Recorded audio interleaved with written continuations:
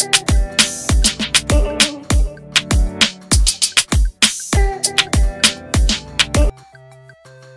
ดสมปองเปิดเวทีออดิชั่นหาศิลปินเข้าค่ายเพลงเผยเตรียมตั้งสำนักข่าวแม่ปองช่วยเหลือคนทิดสมปองเปิดเวทีออดิชั่นคัดเลือกหาศิลปินเข้าค่ายเพลง แม่ปองฮักไหเผยหลังจากนี้เตรียมตั้งสำนักข่าวแม่ปอง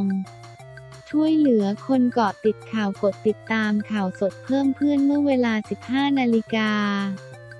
วันที่ 4 มกราคม 2565 ที่ร้านสุขสันต์ขอนแก่น จังหวัดขอนแก่นในสมปอง นครไทยสงหรือแม่ปองพร้อมด้วยคณะผู้บริหารค่ายเพลงไหทองคำและประจักษ์เรคคอร์ด ร่วมจัดกิจกรรมประกวดร้องเพลงเพื่อออดิชั่นเข้าเป็นศิลปินในค่าย แม่ปองฮักไหท่ามกลางความสนใจของเหล่าบรรดาศิลปินเพลงในพื้นที่จังหวัดภาคอีสาน ครูเพลง นักแต่งเพลงรวมไปถึงผู้ที่ชื่นชอบในงานเพลงและงานแสดงต่างๆ มาร่วมประกวดตามกำหนดเวลาที่คณะกรรมการกำหนดอย่างต่อเนื่องตลอดทั้งวัน โดยมีคณะกรรมการคอยให้คำแนะนำ และจัดการประกวดตลอดทั้งวันให้เป็นไปด้วยความเรียบร้อย ไม่ว่าจะเป็นประจักษ์ชัยไหทอคำทิศสมปอง นครไทยสงฆ์ทนายเก่ง ใบปอรัตยา เจเน็ตเขียว เอมิรา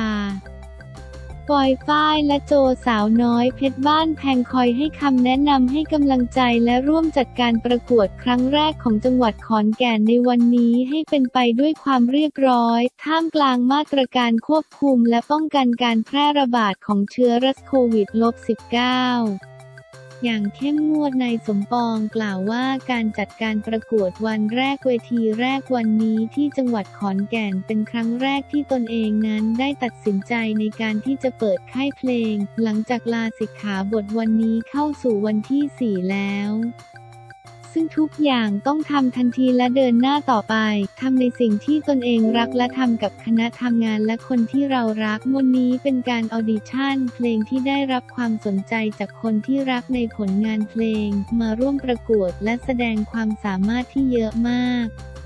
มากกว่าที่คาดการเอาไว้ส่วนตัวเคยคิดว่าในการเปิดตัวค่ายเพลง หรือการจัดการประกวดครั้งแรกนั้น จะต้องมีนักร้องหรือคนที่มาร่วมเวทีกันให้มากบกว่า RS หรือแกรมมี่ แต่วันนี้ก็เห็นแล้วว่าคนที่รักแม่ปองและอยากทำงานกับแม่ปองนั้นมากน้อยเพียงใด ซึ่งนอกจากการประกวดนักร้องและความสามารถพิเศษต่างๆ วันนี้แล้วต่อไปก็อาจจะมีการออดิชั่นครูเพลง นักแต่งเพลงแดนเซอร์เพื่อให้ทุกคนได้เข้าถึงโอกาสในการเป็นศิลปิน ในช่องทางต่างๆ ที่ค่ายได้ดำเนินการไว้ เพราะต้องยอมรับว่าความสามารถของแต่ละคนนั้นต่างกัน เสียงอาจจะสูงมากแหบบ้างพูดไม่ชัดบ้าง ร้องไม่ดีบ้างแต่ทุกคนมีความสามารถจริง ๆ อยู่ดังนั้นค่ายเพลงแม่ปองฮักไหจะเป็นเวทีที่เป็นโอกาสให้กับทุกคนได้แสดงความสามารถได้อย่างเต็มที่ซึ่งครูเพลงทุกท่านพร้อมที่จะปรับตัวความสามารถของแต่ละคนเพื่อสร้างโอกาสให้กับทุกคนได้เข้าสู่วงการบันเทิง นอกจากค่ายเพลงที่ทำแล้วยังคงมีการทำสินค้ามาขายในชื่อแม่ปอง ต่อไปก็จะทำสำนักข่าวแม่ปองเพื่อช่วยเหลือคนที่ตกทุกข์ได้ยากบนพื้นฐานของความเป็นสิ่งมวลชนที่ซื่อสัตย์สุจริต โดยขณะนี้มีตำรวจที่ให้ออกจากราชการได้มาร้องเรียนเพื่อให้สำนักข่าวแม่ปองได้สะท้อนไปถึงหน่วยงานที่รับผิดชอบได้รับทราบ ตามกำลังความสามารถที่มีอยู่นอกจากนี้ยังคงมีอะไรที่อยากทำอีกหลายอย่าง ซึ่งทุกอย่างก็จะต้องค่อยๆเป็นค่อยไป ซึ่งต้องขอขอบคุณทุกคนที่ให้กำลังใจและติดตามแม่ปอง มาโดยตลอดดังนั้นวันนี้มีคำถามว่ากำลังฮอตนั้นมีความรู้สึกอย่างไร ซึ่งต้องขอขอบคุณผู้ให้การสนับสนุนทุกท่านที่ร่วมส่งเสริมและสนับสนุน รวมทั้งชี้แนะช่องทางต่างๆ ที่มีมาอย่างมากในขณะนี้หลายคนก็บอกว่าทำได้หรือทำไม่ได้ ตนก็ขออยากทำให้เต็มที่และเต็มความสามารถ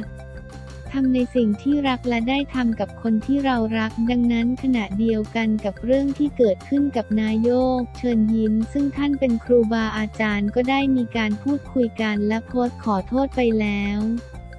ซึ่งเป็นเรื่องที่เข้าใจผิดและเรื่องก็ได้รับการพูดคุยจนจบแล้ว กับพี่สีสุวรรณก็จบแล้วเนื่องจากผู้ใหญ่หลายท่านแนะนำว่าผมนั้นมีคนติดตาม ซึ่งทั้งส่วนใหญ่เป็นเด็กและเยาวชน ดังนั้น การกระทำหรือการแสดงออกใด ๆ ทุกคนจับตาอยู่จึงขอที่จะอยู่นิ่งๆ ไม่ตอบโต้ไม่ท่าตีท้าต่อยและขอโทษกับทุกเหตุการณ์ที่เกิดขึ้น และวันนี้เป็นวันแรกที่คณะทำงานของค่ายเพลงแม่ปองฮักไห จะเปิดตัวเพลงแรกของตนเองและเป็นเพลงแรกในชีวิตหลังจากที่ศึกออกมา ซึ่งจะกล่าวถึงความสมปองของสมปอง ในด้านต่างๆ และชีวิตหลังจากศึกที่ยังคงเน้นความสนุกสนาน คลื้นเครงและคำชมคำอวยพรต่างๆ ซึ่งเป็นสไตล์ของตนเองที่มีมาโดยตลอด ซึ่งยอมนับว่าการเป็นนักร้องนั้นยากมาก วันนี้ตนเองมีอายุ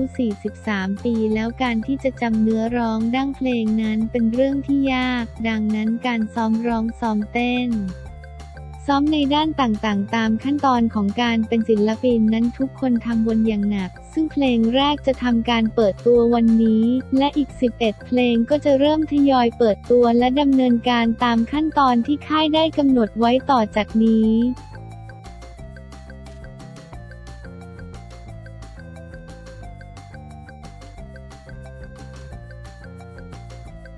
ไขข้อข้องใจ นักไวรัสวิทยาเผยความแตกต่างระหว่างไข้หวัดเดลต้าโอมิครอนก่อนการระบาดของโควิด -19 อาการเจ็บคอหรือน้ำมูกไหลอาจหมายความว่าเกิดอาการหวัด ได้พักผ่อนและดื่มน้ำจะช่วยให้ร่างกายสามารถกลับมาเป็นเหมือนเดิมได้ภายใน 2-3 วัน ด้วยอาการของโควิด -19 ที่ซ้อนทับกับไข้หวัดและไข้หวัดใหญ่ อาการของโรคหวัดโดยทั่วไปคือปวดศีรษะเจ็บคอและมีน้ำมูก ซึ่งอาการเหล่านั้นเป็นสัญญาณหลักบางประการของโควิดด้วย อีกทั้งตัวแปรใหม่อย่างโอมิกรอนที่แพร่กระจายได้ง่ายกว่าสายพันธุ์อื่นทำให้จำนวนผู้ป่วยโควิดทั่วทุกมุมโลกที่พุ่งสูงขึ้นเป็นประวัติการณ์ ผู้เชี่ยวชาญหลาย ๆ ประเทศจึงขอให้รัฐบาลอัปเดตอาการอย่างต่อเนื่อง ทิมสเปกเตอร์ศาสตราจารย์ ด้านระบาดวิทยาทางพันธุกรรมที่ King's College London และนักวิทยาศาสตร์ชั้นนำของ ZOE Study ขอให้ชาวบริติชรายงานอาการของตนผ่านแอปตลอดช่วงการแพร่ระบาดของไวรัสกล่าวว่า สายพันธุ์โอมิกรอนที่แพร่ระบาดในผู้ที่ได้รับวัคซีน แต่มีอาการคล้ายหวัดทั่วไปได้แก่ปวดหัวเจ็บคอน้ำมูกไหลเหนื่อยล้า และจามพร้อมกล่าวเสริมว่า อย่างไรก็ตามนี่ไม่ใช่เหตุผลที่จะหย่อนยังการป้องกันตนเอง โควิดเป็นสิ่งที่คาดเดาไม่ได้ แม้ว่าคนส่วนใหญ่จะรู้สึกเหมือนเป็นหวัด แต่ก็มีความเสี่ยงในระยะยาวมากกว่าการเป็นหวัด ลอเรนซ์ยังนักไวรัสวิทยาและศาสตราจารย์ด้านเนื้องอกวิทยาระดับโมเลกุล กล่าวว่า หากมีสังเกตว่าตนเองมีความผิดปกติให้ทำการทดสอบ LFT ก่อนที่คุณจะออกไปข้างนอก และหากลูกของคุณมีอาการคล้ายคลึงกันของไข้หวัดให้ทดสอบด้วย ลอเรนซ์ยังให้สัมภาษณ์กับ The Sun ว่าการติดเชื้อไวรัสโควิด -19 สายพันธุ์ต่างๆ มีอาการซ้อนทับคล้ายกับอาการไข้หวัด ซึ่งข้อมูลจาก ZOE ว่าหนึ่งใน 4 ของผู้ที่เป็นหวัดมักจะติดเชื้อโควิด ถึงแม้ว่าจะมีอาการซ้อนทับกัน แต่อาการไข้หวัดจะเริ่มขึ้นทีละน้อยทีละน้อย ส่วนอาการของโอมิกรอนจะปวดศีรษะและเหนื่อยล้าอย่างรวดเร็ว ดรแองเจลิก โคเอซี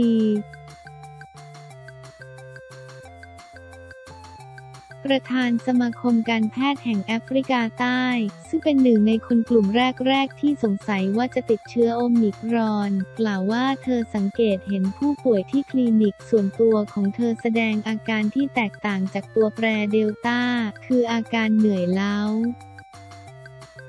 ปวดศีรษะเจ็บคอ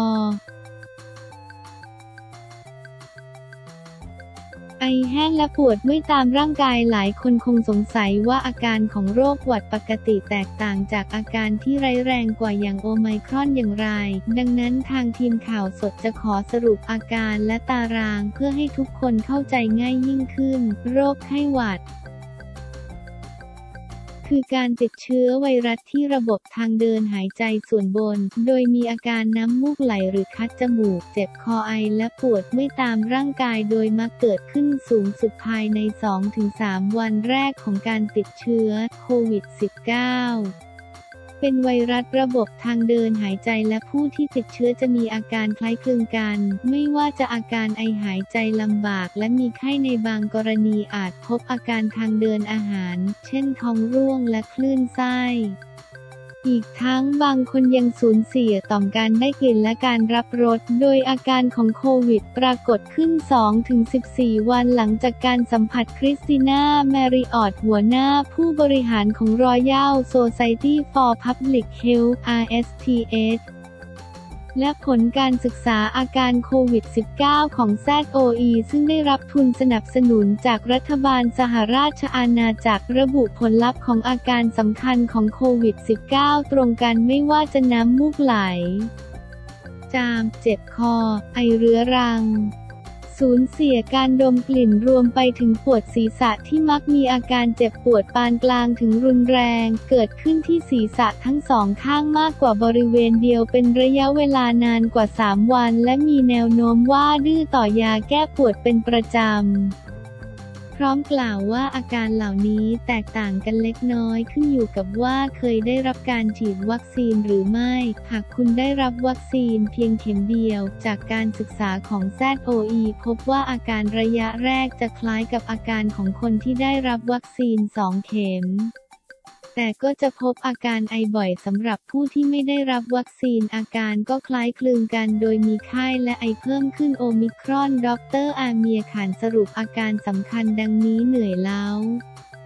ปวดเมื่อยตามกล้ามเนื้อเล็กน้อย อาการเจ็บคอ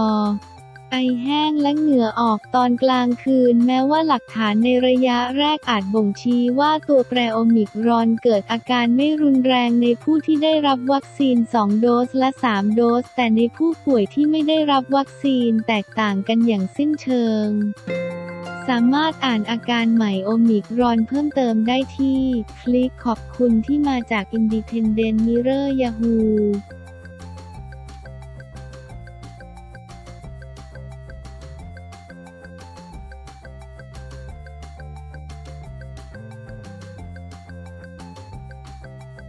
สมปองขอโทษพี่สีปมท้าชกขอลดดีกรีก้าวร้าวหลัง พี่สาวหนุ่มกัญชัย ติง สมปอง ตื่นเต้นขึ้นโชว์ลูกคอบนเวทีหมอลำสาวน้อยเพชรบ้านแพง ประกาศขอโทษพี่สี ลดดีกรีก้าวร้าวหลังพี่สาวหนุ่มกัญชัย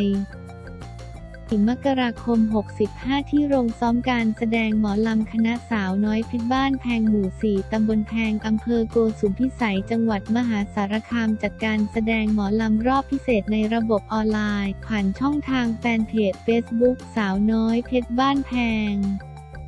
หลังทางคณะได้รับผลกระทบจากการกลับมาระบาดของไวรัสโควิด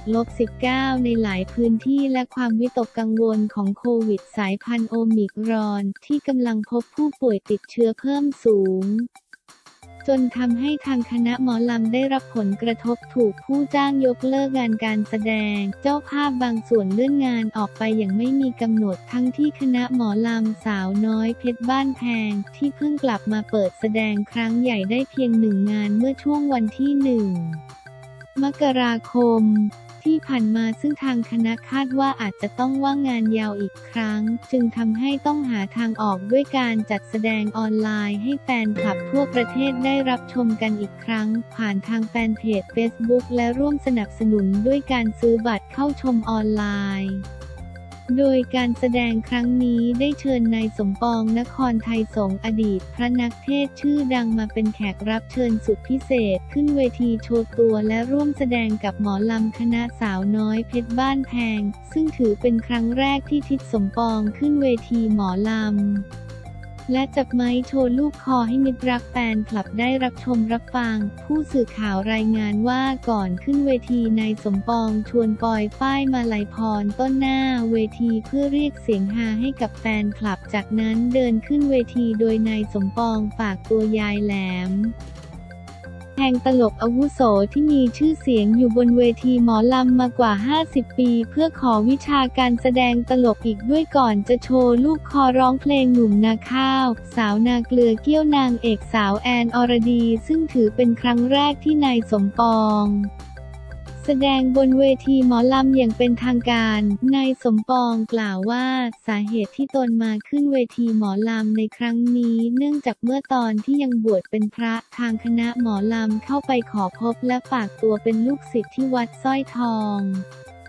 พร้อมทั้งกล่าวเชิญให้ตนไปร่วมขึ้นเวทีเพื่อเป็นเกียรติสักครั้ง ซึ่งเมื่อตนศึกออกมาจึงทำตามสัญญาที่ให้ไว้ เดินทางมาที่จังหวัดมหาสารคาม และขึ้นเวทีกับบรรดาสมาชิกในวงและโชว์ลูกคอร้องเพลงใหม่ที่ชื่อว่า สมปองเดอร์สมปอง ซึ่งเพิ่งทำเสร็จและเตรียมจะเผยแพร่ผ่านทุกช่องทางให้ประชาชนได้รับฟัง ทั้งนี้การขึ้นเวทีหมอลำเป็นประสบการณ์ใหม่ที่ตนไม่เคยสัมผัส เพราะที่ผ่านมาเคยอยู่แต่บนธรรมาสและเวทีทอล์กโชว์ เมื่อมาเจอเวทีขนาดใหญ่ก็มีความตื่นเต้น แต่เมื่อเจอศิลปินในคณะหมอลำสาวน้อยเพชรบ้านแพงที่ให้กำลังใจก็รู้สึกดีขึ้น และรู้สึกสนุกถือเป็นการได้มาเรียนรู้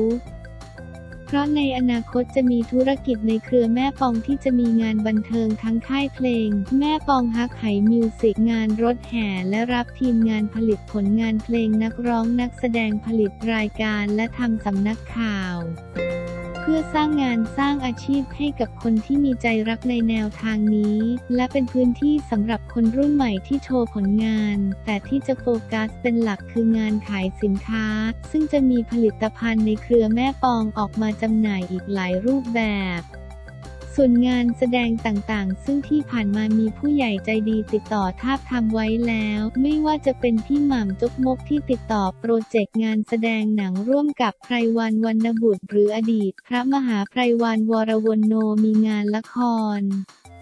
และรายการตลกกับทีมก่อนบ่ายคลายเครียดเป็นต้น ซึ่งก็ถือเป็นโอกาสที่จะได้พัฒนาตนเอง และถือเป็นโชคดีที่ตนมีผู้อุปถัมภ์ค้ำชู มอบสิ่งดีๆ เข้ามาในชีวิต ซึ่งตนตั้งเป้าว่าจะตัดรายได้สิบ เปอร์เซ็นต์จากทุกยอดขายไปจัดตั้งกองทุนบริจาคให้บ้าน วัดโรงเรียนและสิ่งที่เป็นประโยชน์ต่อสังคม นายสมปองกล่าวต่อว่าส่วนกรณีที่มีประชาชนมองว่าหลังจากศึกมาแล้วตนมีภาพลักษณ์ที่ก้าวร้าว ทั้งนี้ตนต้องขออภัยเพราะล่าสุดพี่สาวตนติติงมาว่าให้มีความสำรวม เพราะที่ผ่านมากลุ่มแฟนคลับที่เป็นเยาวชนติดตามดูผลงานเราเยอะ อยากให้อ่อนโยนมากขึ้นสุภาพใจดี สร้างความสุขให้ผู้คนมากกว่า ต่อจากนี้จะไม่มีการท้าตีท้าต่อยใครอีกรวมถึงต้องขอโทษพี่สีหรือนายศรีสุวรรณจัญญาเลขาธิการสมาคมองค์การพิทักษ์รัฐธรรมนูญไทย ที่เคยกรณีวิวาทะจนถึงขั้นประกาศจะเตะปาก ซึ่งเรื่องนี้พี่หนุ่ม กันชัยก็เคยขอให้เรื่องผ่านเลยไป ปรับความเข้าใจกันได้ก็ดีและทำหน้าที่ของแต่ละฝ่ายกันต่อไป ด้านนายยมนินนามวงศาหรือหนุ่มโจ ผู้บริหารวงดนตรีหมอลำคณะสาวน้อยเพชรบ้านแพง กล่าวว่า ตนและสมาชิกในวงต่างรู้สึกประทับใจทิศสมปอง ตั้งแต่ครั้งบวชเป็นพระที่วัดสร้อยทอง เคยยกคณะไปหาและฝากตัวเป็นศิษย์อีกทั้งได้ขอโอกาสให้ทิศสมปองมาขึ้นเวทีเพื่อเป็นเกียรติให้กับคณะหมอลำของตน ซึ่งเมื่อท่านได้ศึกออกมาจึงลองโทรไปพูดคุยและลองชวนมาขึ้นเวทีหมอลำโชว์ออนไลน์ ซึ่งท่านก็จำได้และรับปากว่าจะมาร่วมแสดงหมอลำเพื่อสร้างสีสันให้กับวง ทั้งนี้ทางวงเพิ่งกลับมาเปิดให้แสดงได้เพียงหนึ่ง ครั้งเท่านั้นก็ได้รับผลกระทบจากการระบาดของโควิด -19 รอบใหม่จึงทำให้ต้องหยุดการแสดงอีกครั้งเนื่องจากทางเจ้าภาพหรือผู้จ้างต่างพากันยกเลิกและบางส่วนก็เลื่อนการแสดงออกไป ซึ่งที่ผ่านมาคณะของตนมีการจัดแสดงเพียงไม่กี่ครั้ง ตนต้องแบกรับภาระการเลี้ยงดูและการบริหารจัดการและค่าใช้จ่ายต่างๆ ของวงเป็นจำนวนมาก ส่วนสมาชิกวงกว่า 200 ชีวิตก็ต้องการรายได้ไปเลี้ยงดูครอบครัว ก็กัดฟันสู้ต่อมา เพราะหวังว่าในอนาคตทั้งวงจะได้กลับมาแสดงเป็นปกติอีกครั้งและพบปะแฟนเพลงจากทั่วประเทศได้ดังเดิม แม้การระบาดของโควิด -19 จะเพิ่มสูงขึ้นในหลายพื้นที่ต้องยอมรับว่ามีผลกระทบเป็นอย่างยิ่ง ต้นจึงอยากจะขอฝากถึงผู้มีส่วนเกี่ยวข้องหรือผู้รับผิดชอบมีอำนาจหน้าที่โดยตรงช่วยหาทางออก ทั้งนี้แม้ปัจจุบันทางวงจะปรับตัวด้วยการจัดการแสดงผ่านออนไลน์ และได้รับการสนับสนุนจากสมาชิกทั้งทางแฟนเพจและทาง YouTube แต่ก็ยังสู้การจัดแสดงเหมือนแต่ก่อนได้ จึงต้องรอคอยให้สถานการณ์โรคระบาดเบาบาง หรือจบลงโดยเร็ว เพื่อจะได้กลับมาแสดงและหารายได้อักครั้ง ทั้งนี้คณะหมอลำสาวน้อยเพชรบ้านแพงก่อตั้งโดยนายสงกรานนำวงศาซึ่งเป็นอดีตเป็นดาวตลกคณะอ่อนตาพัฒนาลำเพลินต่อมาแยกตัวมาตั้งวงใหม่ชื่อวงหมอลำคณะสาวน้อยมิตรบ้านแพง เริ่มต้นมีนักแสดง 40 คน ออกเดินสายแสดงหมอลำในแถบภาคอีสาน ต่อมาทางคณะเปลี่ยนชื่อเป็นหมอลำคณะสาวน้อยเพชรบ้านแพงมีเอกลักษณ์ในการแสดงหมอลำเพลินที่คึกคักร้าใจ สร้างชื่อเสียงเรื่อยมาจนเป็นที่รู้จักกันในระดับประเทศจนในปี 2532 ได้รับรางวัลโล่พระราชทานและรางวัลเกียรติยศมากมาย ปัจจุบันมีนายโยมนินนามวงศาหรือหนุ่มโจเป็นผู้บริหารมีนักแสดงที่ได้รับความนิยมอาทิแอนอรดี วัดศิวดลเข็มกมลชัยปันปันเพชรบ้านแพงสุสายใย เพชรบ้านแพงยายแหลมและยายจื้นเป็นต้นปัจจุบันทางวงจัดแสดงออนไลน์ผ่านเฟซบุ๊กซึ่งมีสมาชิกผู้ติดตามมากกว่า 1 ล้านรายชื่อ และผู้ติดตามช่องทาง YouTube อีก 1.31 ล้านราย ซึ่งถือเป็นคณะหมอลำที่ประชาชนนิยม และขึ้นชื่อเป็นเบอร์ต้นๆของประเทศไทย